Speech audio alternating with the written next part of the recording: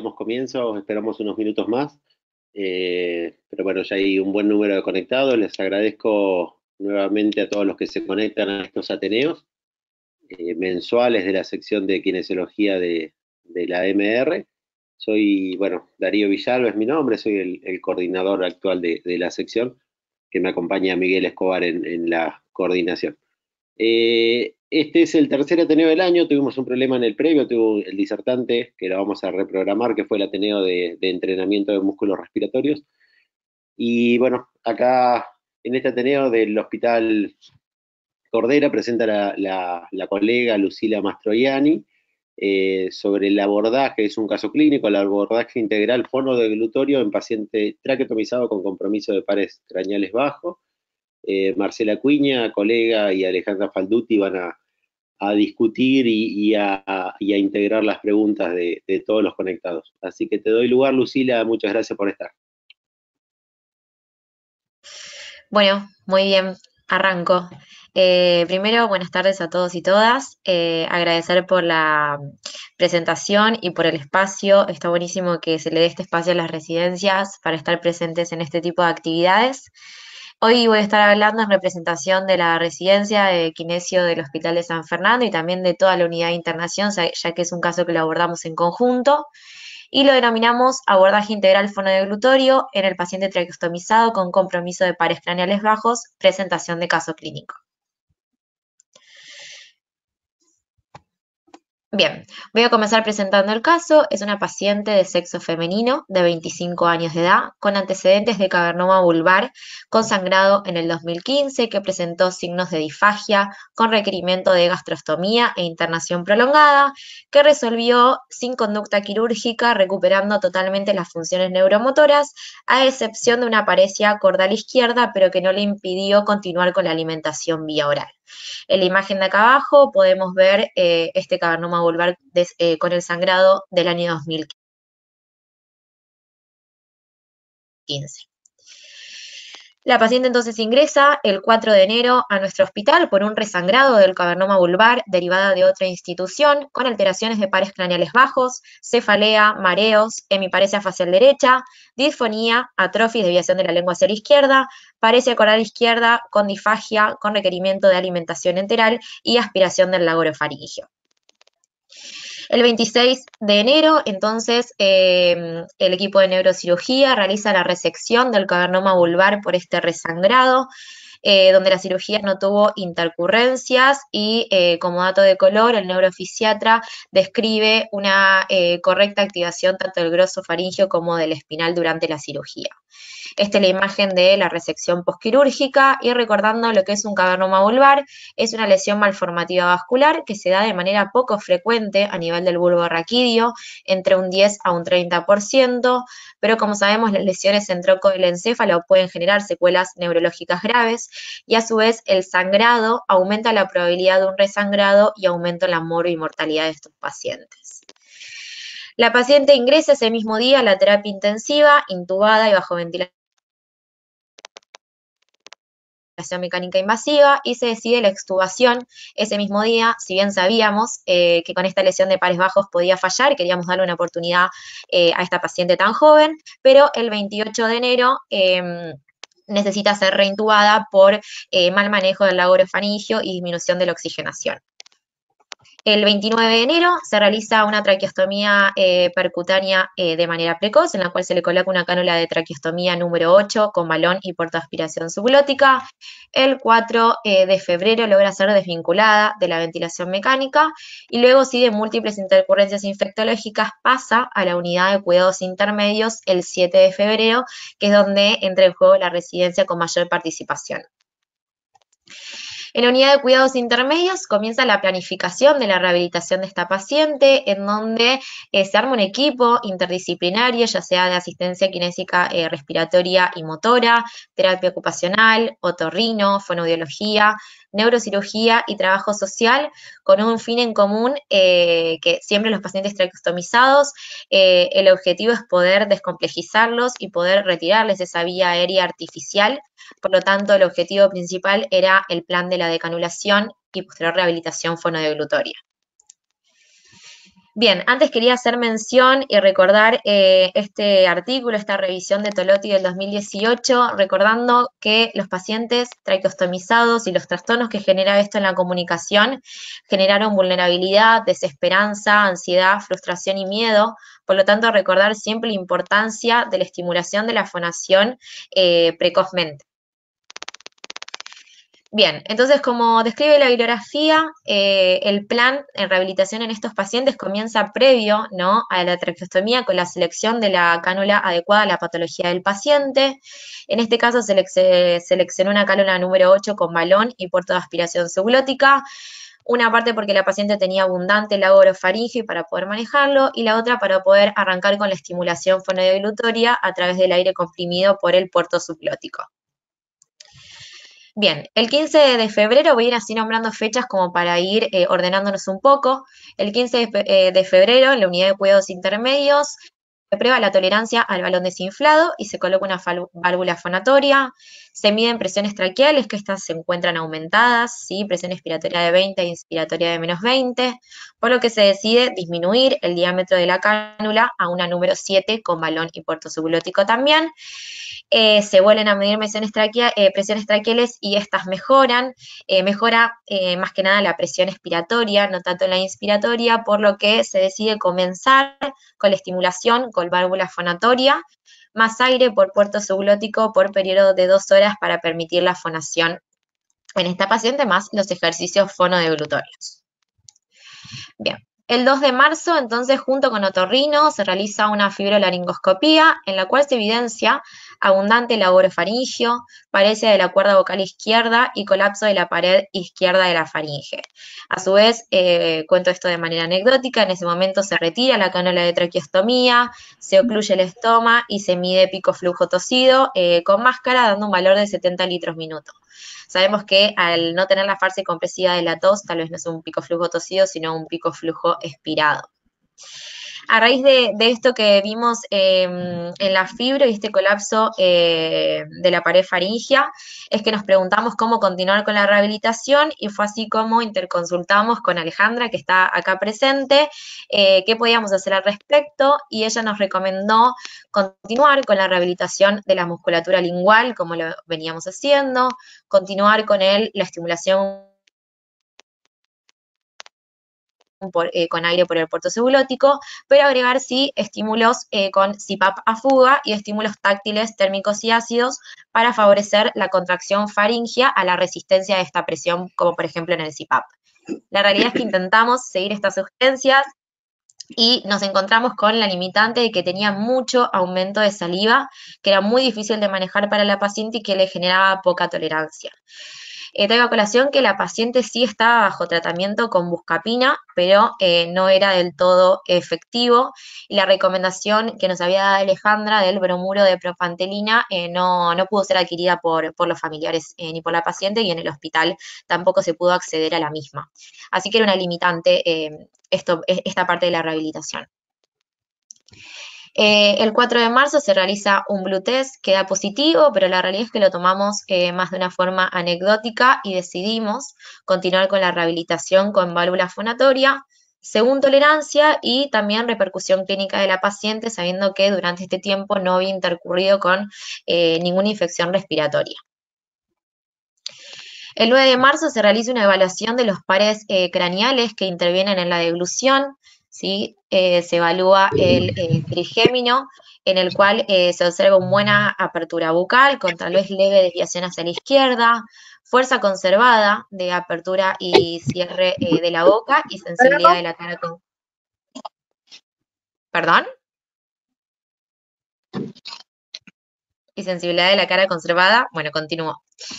se evalúa también el trigémino, perdón, el facial, eh, en el cual se ve simetría facial, eh, se evalúa la activación del auricular de los labios con una correcta activación y tal vez una disminución en la activación, en la activación del buchinador. Eh, se evalúan los dos tercios anteriores de la lengua, en la cual se encuentra el gusto alterado. Se evalúa el osofaringio y el vago de manera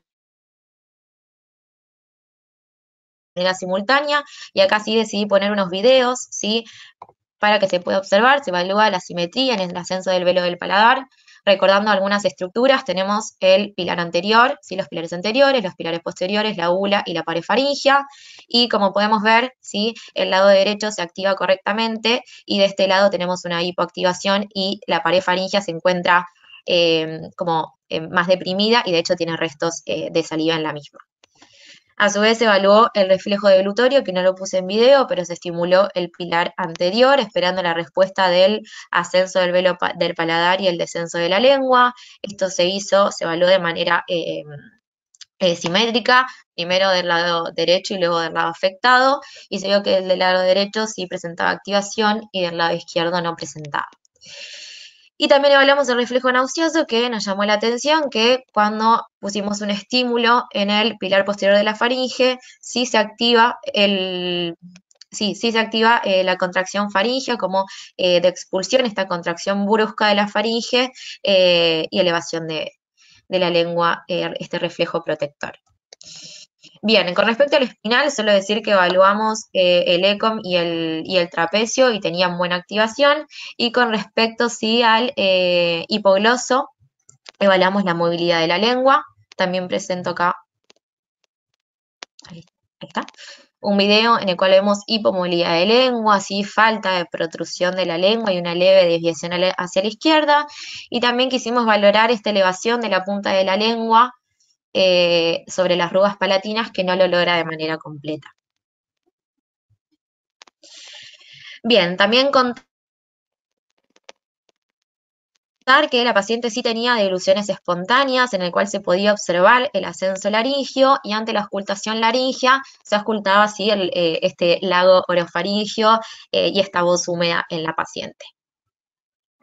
Bien, continuando, el 11 de marzo se realiza un blue test modificado, ¿sí? Se decide esto porque creemos que también la consistencia eh, ayuda al estímulo, al estímulo de la deglución, dando este positivo, por lo tanto a la paciente se le realiza una gastrostomía, el equipo de cirugía, y también en este mismo día se mide la presión expiratoria máxima, dando un resultado de 80 centímetros de agua.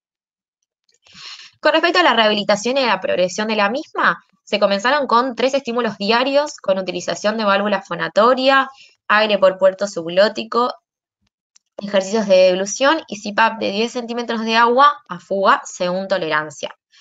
Con respecto a los ejercicios deglutorios, se realizó movilización eh, resistida lingual, se trabajaron las praxias eh, deglutorias, más que nada la elevación ¿sí? de, la punta de la lengua con esta contracción isométrica eh, con ayuda del profesional. Eh, se utilizó una máscara de PIP también con el mismo eh, concepto del CPAP, ¿sí? pero para la paciente era mejor tolerado. Se utilizó la maniobra de Masako, la maniobra supraglótica para trabajar la coordinación respiración-deglución y la estimulación con ácido cítrico.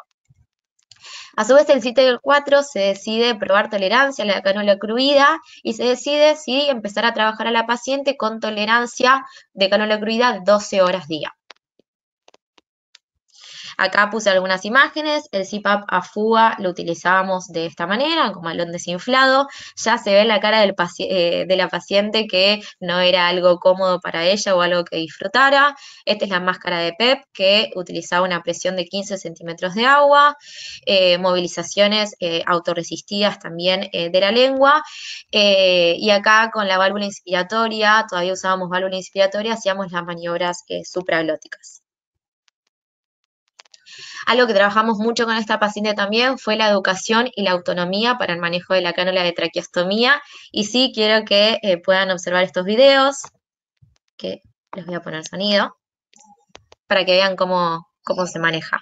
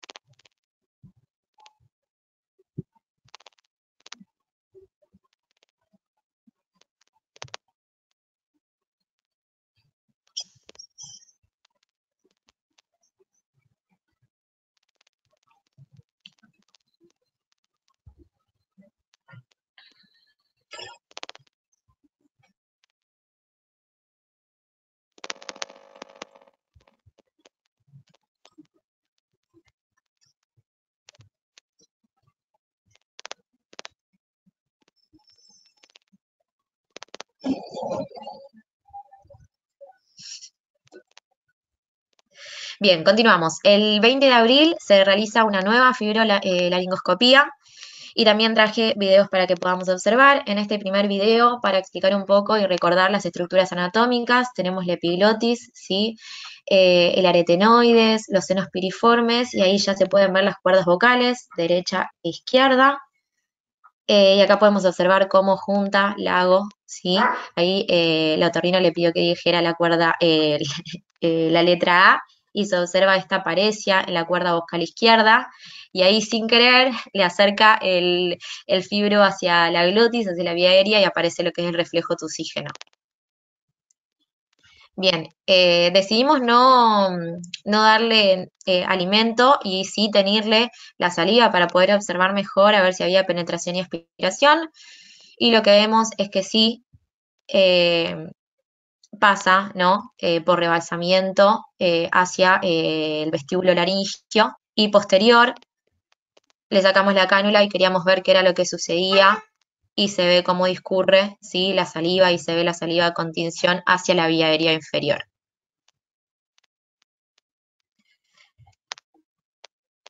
Bien, continuamos. A raíz de, lo que vimos en esta fibro, eh, hicimos una reunión con el equipo tratante para definir conducta y definir si realmente seguíamos, a raíz de esto que vimos, eh, con este estímulo de 12 horas día con cánula ocluida. Eh, la realidad es que se presentaron los pros y contras de esta terapéutica, si bien sabemos que eh, hay una disminución en lo que es la protección de la vía aérea y esto genera la, posibilidad de que aumenten las intercurrencias respiratorias y a raíz de esto aumentar la mortalidad. Nosotros que conocemos a la paciente sabemos que ella eh, logra toser y eliminar las secreciones por la traqueostomía, no por vía aérea superior, pero sí ella se saca el tapón y tose por la traqueostomía, que no presentó intercurrencias infectológicas en estos cuatro meses de internación en la unidad de cuidados intermedios, que sí mejoramos la calidad de vida porque es una paciente eh, que tiene una hija eh, de tres años y que necesita poder comunicarse, y lo mismo eh, lo que quiere el paciente. Nosotros le explicamos a la paciente los riesgos de esta terapéutica y ella accedió y entendió y prefirió esto y a su vez tuvimos muy en cuenta el buen manejo que tiene nuestra paciente con eh, la traqueostomía. Entonces decidimos, eh, en conjunto con el equipo tratante, continuar eh, con esta terapéutica, ¿sí? con esta decisión de la cánula ocluida. Bien, con respecto a lo motor, sí, no me quiero detener mucho, pero creo que es importante. Sabemos que si mejoramos lo motor y mejoramos la coordinación, también vamos a mejorar eh, la capacidad residual funcional, los volúmenes pulmonares y esto también se va a ver afectado en la función eh, fonodevolutoria. Eh, es una paciente que tiene ataxia, que tiene dismetría y que actualmente se encuentra marchando independientemente con un dispositivo de ayuda a marcha que es estandador, ya que le hicimos una escala que es el Verb Balance, que nos dio 32 de un total de 56, asumiendo un riesgo moderado a alto de caídas y necesidad de un tercer apoyo. También le hicimos, eh, le medimos la independencia en lo que son las actividades de la vida diaria, dando una independencia moderada en las actividades de la vida diaria. Con ella se trabajó todo lo que es estabilidad, coordinación, fortalecimiento, se trabajó mucho en cadena cerrada de miembros superiores para favorecer también la actividad de la musculatura suprainfraioidea, eh, músculos del core eh, y demás. Y también algo que se logró junto con el servicio de neurocirugía y con trabajo social es que la paciente pueda acceder al certificado único de discapacidad, ¿no? Y tener en cuenta eh, la clasificación eh, la CIF, ¿no? la Clasificación Internacional de Función en Pacientes con Discapacidad, en la cual eh, en esta paciente los factores ambientales y los factores personales juegan un rol muy importante los que fueron la limitación en las actividades y en la participación de esta paciente.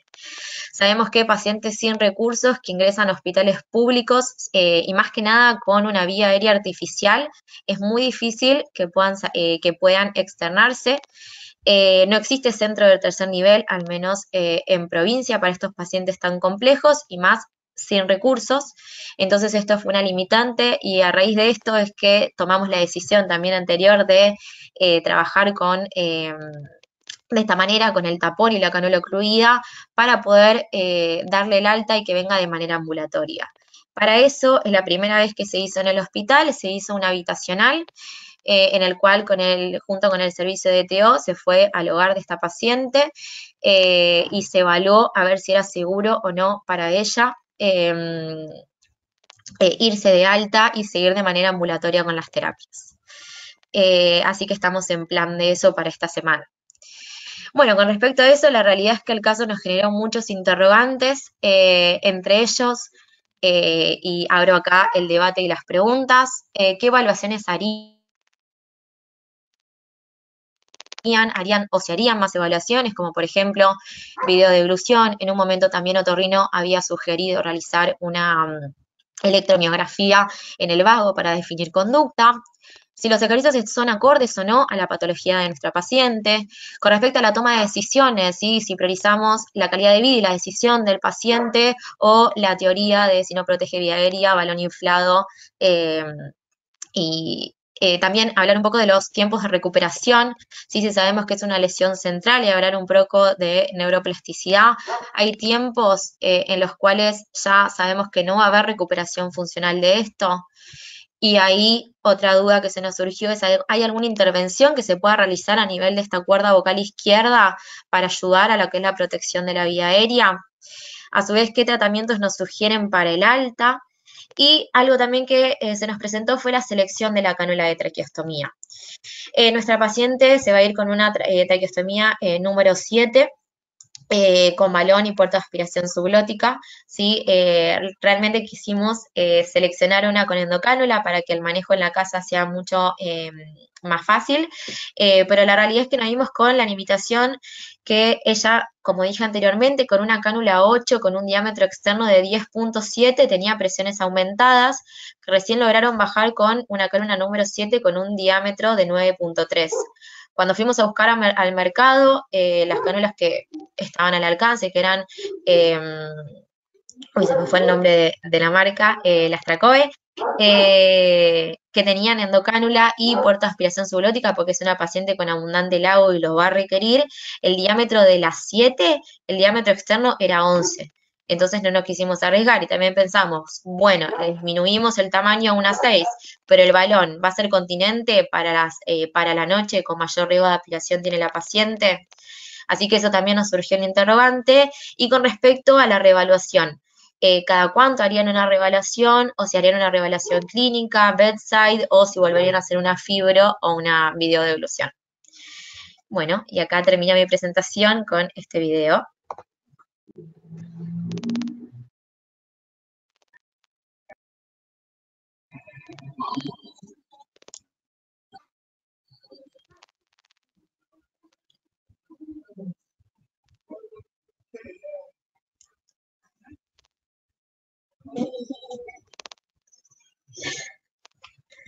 Bueno, muchas gracias.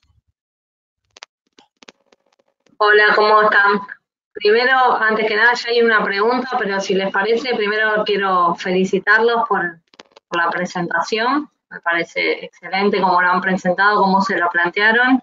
Y bueno, el tema de las preguntas, yo creo que es una son todas las que nos hacemos todos siempre, porque son pacientes muy complejos, los pacientes con compromiso de pares bajos, y que seguramente no es solamente eh, algo central, sino también eh, no se sabe bien nunca cuando está afectado el par craneal, ¿no? Más teniendo en cuenta que ella durante la cirugía el hipogloso le había, el, perdón, el 9 le había dado bien. Eh, si quieren, primero les hago las preguntas y después que le hacen los, los que están escuchando y después algún comentario mío. ¿Les parece bien? Porque Martín pregunta, ¿cuánto tiempo y cuántas horas por día administraron el aire por puerto sublótico y en qué se basaron para determinar el tiempo?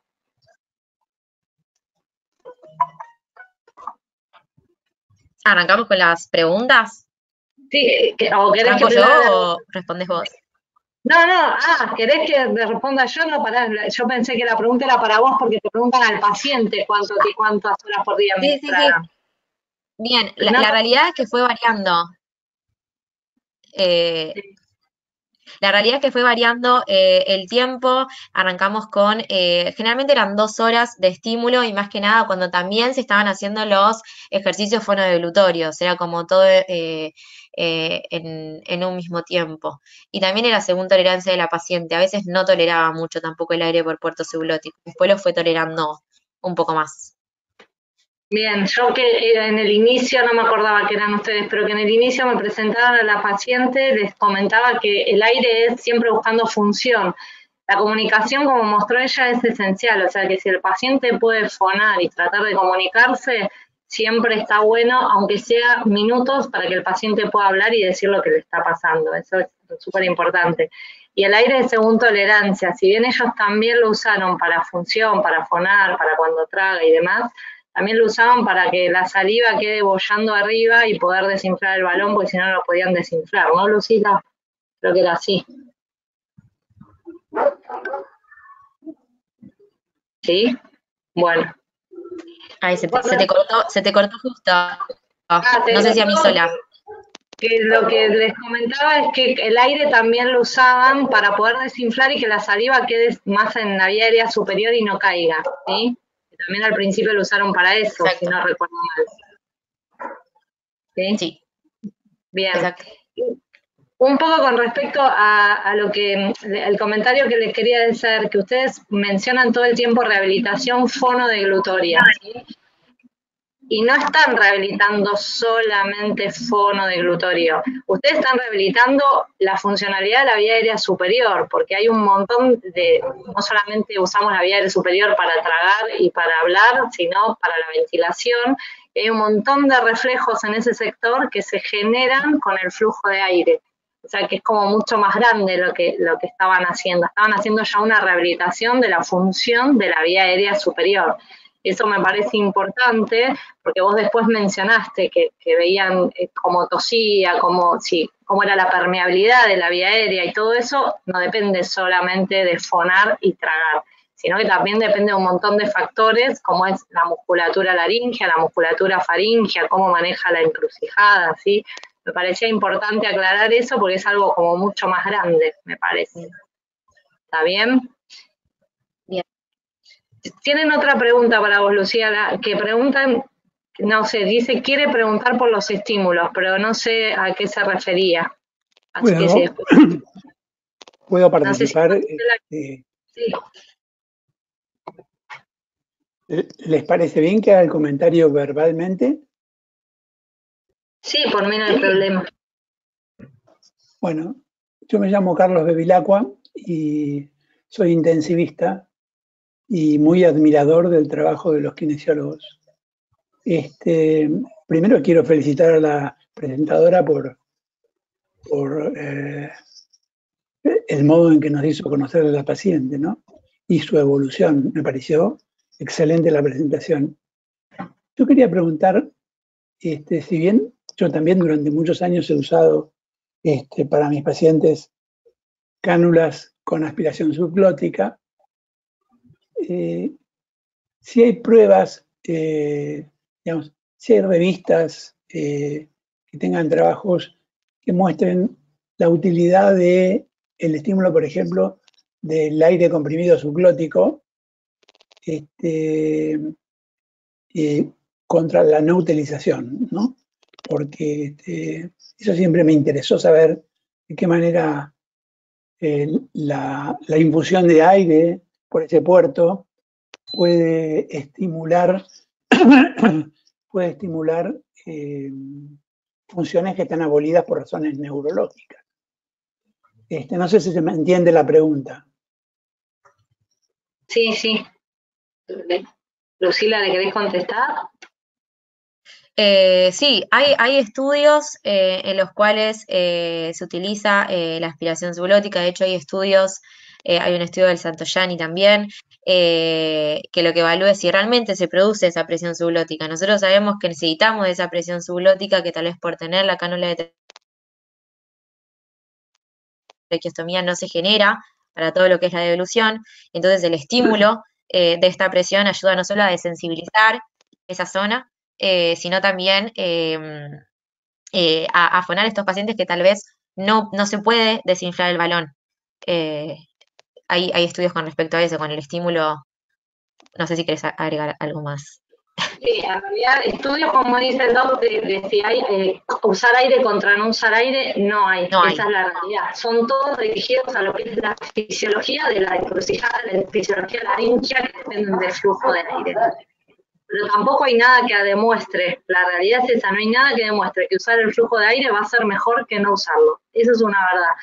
Yo particularmente lo utilizo de manera muy empírica, muchas veces, eh, sobre todo estos pacientes que, no le puedo desinflar el balón por la gran cantidad de la orofaringia, lo primero que inicio es pedirle que le, den alguna medicación o algo para bajar la saliva, y a partir de eso, con aire por sublótica, jet altos, pero más que nada pensando en subirle el aire a la zona de, de los recesos faringios, como puede ser senopiriformes, que eso sí, por video, no yo particularmente he bajado pacientes a ver cuánto flujo de aire necesito para que el aire suba y le provoque una deglución, pero porque lo mando para arriba, hacia los recesos faringios, uso ese aire, pero para eso, para sostener la saliva y poder empezar a desinflar el balón. Yo creo que es súper importante lograr, como le pasa a esta paciente, el desinflado del balón y el, mejorarle, que eso le quería comentar a Lucila, el mejorarle siempre los flujos respiratorios para mejorarle la, tos. Más allá de la fuerza, necesitamos flujos de aire respiratorio y que trate de toser por boca. Eso es lo que hay que mejorarle. Entonces, muchas veces el aire lo usamos también para eso, no pensando que con el aire mejoramos la deglución, sino pensando que con el aire mejoramos que haya un flujo de aire en un sector donde tiene que haber aire para que se empiecen a provocar todos los reflejos laringeos de protección, que no es solo la tos, sino es el autor, el, el oso, el faringoglótico, el hay un montón de reflejos que dependen del pasaje de aire. Entonces, pero si está escrito, la verdad es que no siempre está apuntado a lo que es la fisiología de la dilución. No sé si Marcela quiere agregar algo. Sí, em, nosotros lo que lo utilizamos también es... ¿Me escuchan? Sí. Me hace como... Eh, nosotros, por ejemplo, cuando lo utilizamos en la videofluoroscopía, en los pacientes, cuando sabemos que el paciente durante la evaluación videofluoroscópica se aspira, colocamos el jet de aire comprimido sobre el puerto subglótico y de esa manera vamos dando la presión de aire comprimido para saber hasta cuándo tenemos que hacer como para que el paciente empiece a comer, ya que en esa presión se aspira, ¿sí? entonces es un modo de alimentación para el paciente. Em, todos sabemos, bueno, que va a mejorar obviamente la presión subglótica para activar a todos los mecanorreceptores que se encuentran ahí inactivos, ¿no? Entonces es importantísimo, pero eh, objetivamente se puede em, evaluar la necesidad a veces de enviar este jet de aire por puerto subglótico para mejorar la dilución del paciente en el caso de que el paciente no tenga una buena protección de la vía aérea. Entonces, a veces es importantísimo, más en pacientes a veces eh, oncológicos, que es fundamental a veces para ellos comer, aunque sea darle la posibilidad de alimentarse con el jet de aire por puerto subglótico y se alimenta de esa manera. Eh, y esto sí lo comprobamos continuamente con, a través de la videofluoroscopía. Así que eh, no el estudio, como dice eh, como está consultando el colega, pero sí como para la deglución, como está asegurando también Liliana, ¿no? Bien. Lucila, te hacen otra pregunta para todos, ¿no? Pero dice, preguntan si realizar maniobras compensatorias para el manejo de esas secreciones o alimentación guiadas por video. Igual creo que algo dijo Marcela, no sé si lo hicieron ustedes. No, no, no lo hicimos. Eh, generalmente cuando uno tiene una prueba azul modificada con un compromiso de pares craneales bajos, eh, no se utiliza porque, salvo que uno quiera hacer algún tipo de alimentación terapéutica porque la paciente no logra hacer ejercitación y quiere estimular a la faringe y le da algún alimento, pero a veces es más el riesgo que Mira, el eh, costo-beneficio conviene. Con, con, el blue test modificado, que creo que eh, no, no, lo dije, no lo comenté bien, lo hicimos con semisólidos y fue instantánea la aspiración con un descenso de la saturación de cuatro puntos eh, y vino instantáneamente el alimento por vía aérea. Era como que sentíamos que era un riesgo eh, hacer alimentación terapéutica. Exacto. Ariel comenta que él hizo una revisión de artículos de estimulación de sublótica y que se encontró un aumento de la presión sublótica con un flujo de 7 litros por minuto como comentario de, lo que preguntaba el doctor Bevilac. Hola. Hola, Miguel. ¿Qué tal? Eh, perdón si se escucha ruido, estoy eh, en el auto, digamos. Eh, en, relación a lo que decía el doctor Bevilacqua, hay un, un artículo este, que compara el uso de, de flujo de aire subglótico este, con el, eh, en comparación con no usarlo, ¿no? Y comparan la cantidad de, de, de tragos por minuto y eh, el, la cantidad de secreción subglótica en 12, 14 pacientes, no recuerdo bien ahora, eh, con daño cerebral, este, lago menor de 8, y mm, lo que encuentran eh, es un, una, un aumento en la cantidad de tragos cada 5 minutos, este, mm, digamos, llevándolo de 0,5 a un trago este, cada 5 minutos a dos tragos, eh, más o menos, digamos, como que duplicaba esa cantidad de tragos cada 5 minutos. Y eh, la cantidad de secreción subglótica eh, lo, la, lograban disminuirla de 2,5 a 0,5, este, con un periodo de washout en el medio, ¿no? Eh, eso es, el, digamos, yo eh, estuve revisando, eh, es el único artículo que encontré eh, que compara el no uso contra el uso. Este, después quedará a ver, digamos, si eso tiene alguna efectividad clínica.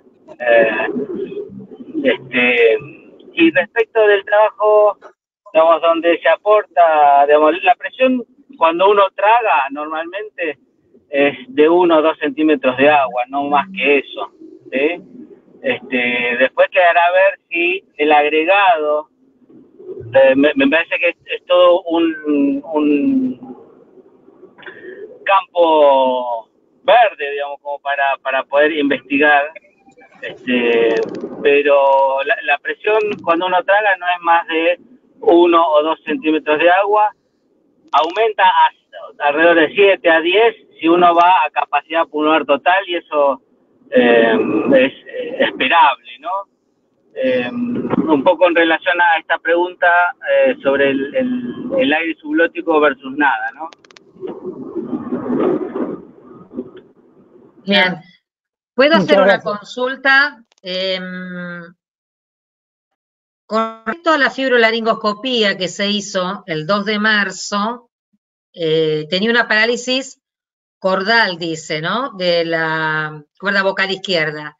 Y una epiglotis en omega y un colapso parcial de la pared faringea posterior. ¿Eso lo pudieron evaluar eh, con, después posterior con el otorrino? ¿A qué se debió todo ese colapso, esa epiglotis en omega? Bueno, puede ser un factor obviamente inflamatorio, pero eh, ¿hay algún daño estructural? Sí, no, eh, se evaluó y no, no había ningún daño estructural. ¿Y qué? ¿Hicieron no, algún era... específico para esto? No, es que eh, me parece que eh, esa primera que se hizo había mucha debilidad y lo que pasaba era que de hecho le costaba mucho ingresar el, el laringo de la, del edema que había eh, en ese momento y después se, creemos que... Esa fue el 2 de marzo, pero después hicieron otra el 20 de abril, o sea, esa. hace poco, que ahí sí. ya tenía parálisis de la epiglotis. Era una, antes era una epiglotis en omega y después tienen parálisis de epiglotis, parálisis de cuerda vocal y parálisis del constrictor superior. Sí, eso es lo que escribe ¿no? la otorrino, pero son las fibros que sí. mostré. Eh, que no sé si la palabra es parálisis porque de hecho se moviliza. Eh, me parece que es como una parecia o disminución de la actividad, eh, pero... Ah, está, porque estaba informado, por eso yo digo, como que fue empeorando. No, no, así, así una parálisis, una parecia y después se complicó, la epiglotis se movía y ahora no se mueve. Entonces yo digo, quizás no, no. hay alguna lesión sí, a nivel, hecho, como decían, de más por esto de, de evaluar el vago, viste que decían evaluar el vago, yo digo, quizás, no sé, no estaría mal, digo, ver. Sí. Con respecto a, a, eso, sí, muchas veces por eso está bueno mirar las imágenes, ¿sí? Parecía, como dice Lucila, que era una parecia y parece más funcional estructural, más que tenga que ver con justamente su compromiso. Eh, había una pregunta que habían dejado ustedes ahí, que era si, si había algún tratamiento para esta parecia de cuerda vocal. Ustedes estaban hablando de un tratamiento integral, supongo que, que fono, en los momentos que ya puede hablar, eh, el trabajo del fonoaudiólogo es fundamental para trabajar la cuerda vocal, eso es indiscutible. Y sí hay un tratamiento que es, eh, lo más común es que inyecten eh, grasa autóloga o ácido hialurónico para eh, como engordar esa cuerda y en, la mano de fono se van trabajando, pero ese tratamiento es cuando mejora lo del glutorio. O sea, cuando tiene tanta cantidad de saliva, no, no, no se puede, porque a ella lo que le pasa es no solamente la cuerda vocal y se va a aspirar porque por ahí ingresa por la cuerda vocal, sino que tiene mucha debilidad faringea y hace que eso rebalse y termine pasando por ese sector. Entonces, tratamiento hay, pero en el tiempo cuando progresa con, eh, con su debilidad faringea o su parecia de la faringe del lado izquierdo con respecto al cuánto el tiempo, yo creo, bueno, en esto es más de neurólogos, pero en la neuroplasticidad tenemos todo el año para intentar acomodar todo esto y uno nunca, más con pacientes jóvenes y con tanta actividad y en un paciente como ella, nunca deja de, de trabajar y de ir logrando objetivos chicos y que vaya intentando mejorar.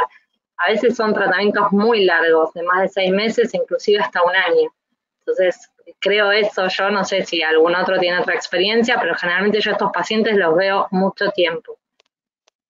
Si yo tengo una paciente con un postquirúrgico de un SEA de tráquea y ya va tres años rehabilitándola, así que eh, lleva muchísimo tiempo y bueno, mejoró la deglución, obviamente ya come con todas las consistencias, pero sigue con la parálisis, una parecia cordal izquierda eh, y lo que yo estoy eh, haciendo desde, desde, hace rato con ella es electroestimulación a nivel de los supraioideos. Y le hicimos electroestimulación mientras el otorrino hacía la fibrolaringo y veíamos cómo eh, trabajaban los aritenoides, ¿sí? O sea que es una forma objetiva para que uno sepa si el tratamiento es realmente eh, útil en este tipo de pacientes con una parecia, ¿sí? Tiene una parecia cordal, pero se ve específicamente cómo los aritenoides empiezan a trabajar, ¿sí? Y utilizamos eh, un, equipo eh, que es el mismo que se utiliza a veces en parálisis faciales, con una corriente exponencial, ¿sí? Así que una de las terapéuticas que utilizamos, sumado a todas las maniobras eh, es eh, lo de electroestimulación, que sería algo que quizás pueden implementar ustedes también. Sí. Sí. Y también, ¿sabes qué? Que estuve hablando con personas que hacen drenaje linfático, también he hecho con esta paciente drenaje linfático manual, ¿sí? Para trabajar a nivel, eh, o sea, supraglótico e infraglótico, ¿sí? Sobre los ganglios linfáticos. Y eh, ella nota muchísimo el cambio de la voz después de hacerle el drenaje mejora muchísimo. Hay muchas técnicas que a veces no utilizamos, pero eh, el drenaje en este tipo de pacientes también eh, sirve, drenaje linfático manual. Lucila, ¿querés ir a, a, la diapo anterior para recordar las preguntas que por ahí el auditorio tiene algún comentario para hacer? Yo ya me las olvidé. Ahí está. En cuanto a, sí, un comentario, en cuanto a lo que son las evaluaciones, si sigue el paciente rehabilitación, seguramente si se externa y va a seguir con ustedes, no lo van a ver todo el tiempo, lo verán una vez por semana. Entonces, uno, a medida que siempre rehabilita, va reevaluando, pero evaluaciones como puede ser una fibrolaringo tienen que ir viendo clínicamente cuando ustedes notan una diferencia, ¿no? Hay un tiempo en un paciente con eh, una disfagia neurogénica porque es bastante más complicado, ¿sí? Así que en cuanto a las evaluaciones, generalmente si vos le preguntás al otorrino te va a decir en tres meses seguramente, pero si ustedes notan cambios groseros, en donde pueden pensar que, hay algún avance, se puede reevaluar. Ahora, si ustedes ven siempre lo mismo, por ahí no tiene mucho sentido, ¿sí? Eh, no sé si, si alguno quiere hacer alguna mención, la selección de la cánula sí es una cánula con endocánula en el paciente externado, pero es verdad, es excelente el trabajo que hicieron ustedes en observar los diámetros externos para, para decidir el, el, tipo de cánula, así que no hay mucho más, creo, para decir con eso. Aparte, fíjate que los diámetros externos también varían según la marca, también varían en eso. Sí, no sé, acá la duda era si tal vez conocían algún, algún otro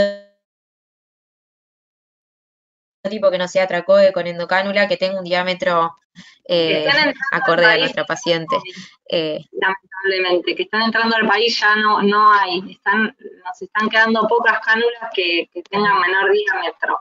Yo la verdad que no conozco, no sé si alguno otro conoce, pero en este momento no, son bastante más, con diámetro que son bastante importantes las que hay. Hola, mm. ¿cómo están? Sí. Hola. Sí, Darío. Perdón, Carlos, Darío, un comentario sobre las preguntas que hace. Bueno, excelente a toda la residencia. No, la presentación, que está bien, pero el trabajo que han hecho con la paciente, ¿no? Le, han dedicado mucho tiempo. Hasta han salido, no sé si ustedes o el hospital al domicilio, lo cual esta cosa de, hacer, considerar al paciente uno solo y poderlo ver más allá de, que se fue vivo, que es los objetivos tan, tan comunes de la terapia intensiva, es vivo o muerto, pensar el paciente más allá de eso, su secuela, su casa, su seguridad, eh, es algo que me, la verdad que me, me llena de orgullo de que puedan trabajar en esa línea, ¿no? Pensar en el paciente con su seguridad posterior. Y algo que uno de los puntos, ya está todo bastante dicho por Marcela y por Alejandra, ¿no? Desde el abordaje de glutorio. Ustedes hablan de calidad de vida o protección de vía aérea. Esto es una opinión particular, pero seguramente calidad de vida. Sin ver esa chica desinflándose el balón solo, eh, riéndose por poder decir dos palabras, tres palabras o diez palabras, eh, supera cualquier quizá una cuestión ética, ¿no? ¿Cómo vas a dejar que se aspire a alguien que sabes que se aspire? Pero bueno, la aspiración es algo que genera mucha duda porque no siempre hay aspiración y neumonía. Eh, si no, los geriátricos tendríamos que ir a traquetomizar a, no sé qué porcentaje de, gente geriatrizada o de gente de, tercera edad, ¿no? Eh, entonces uno dice, uy, tiene azul en la vía aérea. ¿Y qué es que tiene azul? ¿Cuánto es el riesgo real, no? Otra cosa es hacer una curva térmica, un monitoreo de aumento de secreciones, eh, ni hablar de infecciones, ¿no? Uno no va a dejar que se aspire a alguien que hace neumonías eh, cada vez que terminan los antibióticos. Ahí no, yo te diría dejar el balón, dejen ustedes el equipo el balón inflado y basta de agredir ese pulmón. Pero esta chica no, no ha tenido grandes intercurrencias. O sea, sin duda, calidad de vida. Marcaste un punto en la presentación que es clave. Los pacientes en Argentina, por lo menos, todavía sigue siendo muy difícil la externación traqueotomizado muy difícil. Entonces, hay que tratar de ver cómo podemos externarlo, cómo podemos prevenir, no era el caso, ¿no? Pero lesiones de vía aérea que se producen muchas veces en los periodos de intubación, por, quizás por algún, alguna falta de cuidado, tenemos lesiones de vía aérea que condicionan la decanulación posterior y hay situaciones donde nunca más se pueden ir de alta por, por esta situación. El winning va y viene, entra y sale del respirador, pero decanularlos es un punto clave en la internación de los pacientes. Así que mi voto, a pesar de que sabemos que se aspira a esta chica cuando lo ponen a, fonar, es calidad de vida versus protección de vida Eso. Sí, yo también totalmente de acuerdo, de hecho es algo que hacemos mucho, por eso es que a veces esto de hacer la prueba azul nos sirve como para decir, bueno, a ver, la miramos, no la miramos, pero a veces la prueba azul nos trae más dudas que certezas, porque en un paciente que vos lo ves así, decís, por eso yo siempre digo mejorarle la tos y tratar de que pueda expectorar, y si tose, seguramente no va a ser la neumonía, eso de, tener en cuenta las infecciones y todo, siempre calidad de vida, eso fuera de toda duda. Eh, Lucila, te pregunta de que del Fiorito si utilizarían una cánula con fenestras pensando en, su alta domiciliaria. No sé vos qué, qué pensás. Buscamos también cánulas con fenestras, pero nos pasaba lo mismo, eh, que como mm, con balón y con puerto subglótico aumenta mucho el diámetro externo. Eh, ella necesita de la aspiración subglótica, porque ella previo a desinflarse el balón, eh, bueno, lo vieron en los videos, requiere esa aspiración del lago faringio. Eh, pero no sé, son cosas que nos preguntamos nosotros también, que tal vez un poco se, nos escapan de, lo que es la experiencia, no tenemos tanta experiencia con este tipo de pacientes.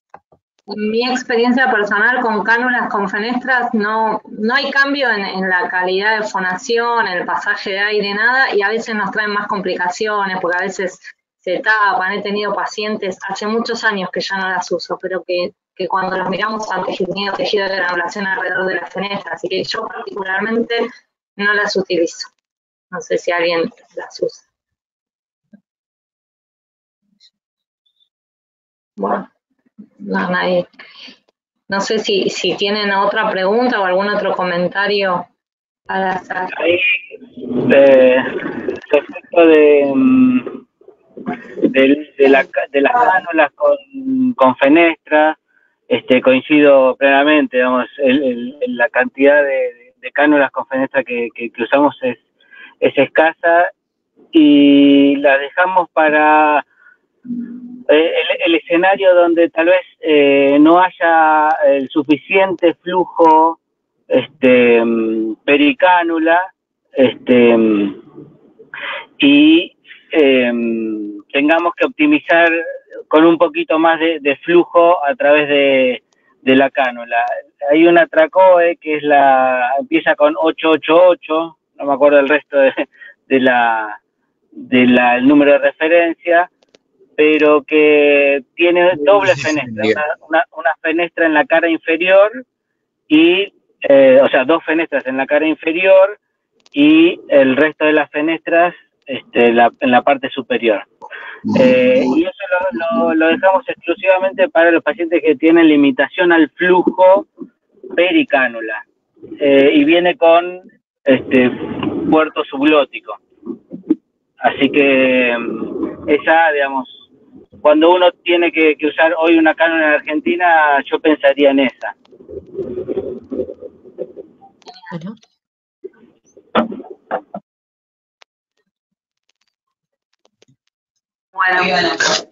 Hola, ¿puedo, ¿puedo hacer una pequeña observación? Sí. Bueno, felicitaciones a todo el equipo de eh, eh, la residencia, pero realmente la presentación de trabajo estaba buenísimo y muy bueno que pueda estar Alejandra y Marcela colaborando para que todos podamos entender esta complejidad de estos pacientes. Me quedó una eh, duda en el, en el manejo inicial. Ustedes empezaron desinflando el CAF, retiraron la cánula y midieron un pico flujo tosido de 70. Eh, ahí no me, no me queda muy claro qué, qué valor van a eh, determinar, o sea, qué, importancia le dan a ese pico flujo tosido cuando todavía no tengo ni pensado de canular al paciente. Lo de las presiones traqueales, eso lo entiendo, pero no, no me quedó claro el valor del pico flujo tosido, por qué medían pico flujo tosido en un proceso en el cual todavía no íbamos a decanular a la paciente porque tenía todo un trastorno del glutorio. ¿Me pueden contestar esto? Y, ahora si quieren sigo yo contando algunas otras cositas. No, totalmente. No, es que eh, fue anecdótico. Eh, fue porque había que hacerle cambio de cano, le dijimos, mirámosle para tener un previo, un pico flujo tosido previo, si bien sabíamos que no iba a ser tosido porque no hay fase compresiva, eh, creo que lo intenté explicar en la presentación, pero lo quisimos poner igual porque era un valor, no era un valor que íbamos a utilizar. Claro, viste que la paciente tenía 80 de Pmax, tenía buena Pmax, o sea, el problema no era la fuerza, sino la limitación al flujo, que podría haber sido limitación al flujo o no, o no generación de presión sublótica necesaria. Y ahí, si ustedes quieren saber ese dato, pueden hacer una eh, espirometría por boca para ver si tiene limitación al flujo expiratorio, ya sea por la presencia de la cuerda vocal en la línea media, que no estaba en la línea media, estaba abducida la, cuerda, la cuerda vocal en una endoscopía que vos mostraste anteriormente. este, y si no, ahí se puede hacer una espiro o un, o un delta pico flujo soplado versus tosido para ver si no tiene si no hay cambios. Si no hay cambios, bueno, hay una, la fase compresiva eh, glótica no está funcionando correctamente. Ok. Bien, eso, eso, muchísimas gracias y felicitaciones. Gracias. Muchas gracias. Bueno, no sé. Muteada. ¿Cómo? hablando y estoy muteada. ¿Estoy muteada? ¿Yo estoy muteada? No. No. Eh, ah. Ay, Perdón, estoy muteada. Quería felicitarla porque yo empecé a hablar y no la felicité. Gracias por convocarme y las, los felicito porque eh, excelente. Como, como están trabajando realmente es excelente. Bueno, muchas gracias. Yo quería hacer un último comentario, pero no está vinculado con esta paciente, así que lo dejaría como, le pediría un minutito para hacer el comentario. Primero que me gustó muchísimo la presentación, me pareció muy buena. Este, y creo que eh, en Argentina todavía me parece que no se le da, eh, por lo menos en, términos eh, no académicos, en, ámbitos no académicos, no se le da suficiente importancia a eh, la kinesiología en el ámbito de las unidades de cuidados intensivos. Y esto es, a mí me parece fundamental. el otro comentario que quería hacer es que con el tema de la pandemia, eh, hubo un poco de alejamiento del paciente del kinesiólogo, del paciente del médico, etc. Y yo creo que también la, cercanía del kinesiólogo, el interés, el afecto, la relación médico-paciente, ayuda a los pacientes más allá de las cosas que están comprobadas. Este, esto me parece muy importante. Y por último, para que vean qué tan viejo que soy, eh, yo, siendo miembro de la comisión directiva de SATI hace muchos años, con la ayuda de Pereira y de Alejandro Midley, eh, impulsamos eh, el desarrollo de la kinesiología en terapia intensiva y a mí me parece que, digamos, la enorme importancia que esto tenía.